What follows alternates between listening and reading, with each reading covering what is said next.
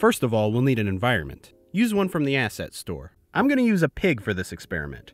You can download this one from the asset store like I did, or you could 3D scan your mom. Test out the level. Perfect. This is exactly what we wanted. No.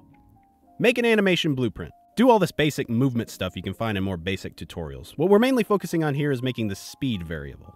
Okay, make a new blend space. Name the horizontal axis direction and the vertical axis speed. Now we search for an idle animation, place it down there at the bottom where the speed is zero. We've brought him to life.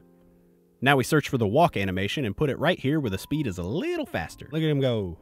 Now put the run animation even higher on the speed axis. Look, he can even tilt in different directions. This is why good animations are important. Oh, and I forgot, we also got to make the variable for direction and all this code here for calculating the direction. Back into the animation graph. Make a new state machine, locomotion. Pull out that blend space and then whip out those variables and plug them in where Let's test them out.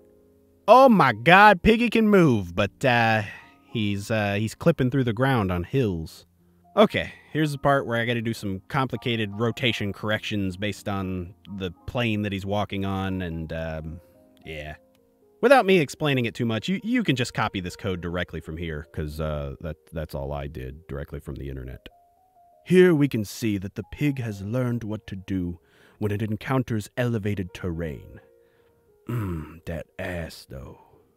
Alright, open your walking animation, find the moment your pig's feet touch the ground, right click Add Notify, New Notify, call it Piggy Footsteps.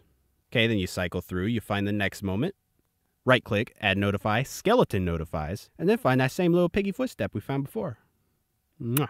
Then do the exact same thing in your running animation. Now you're going to want to add an event for that animation notify piggy footsteps. You're going to drag it out to play a sound. Hopefully you've downloaded some like footstep sound effects. You're going to make a new sound cue and then you're going to plug them all into this random node so that they play randomly. Oh my god. It works. It's so beautiful. It's just like a real pig. Now you're well on your way to making your very own video game. Maybe it's a massive simulation game where you and all your friends explore what it truly means to be a pig. Or maybe your game is about a dystopic sci fi future where you play as a pig with a cannon strapped to his back. I don't know, get creative with it.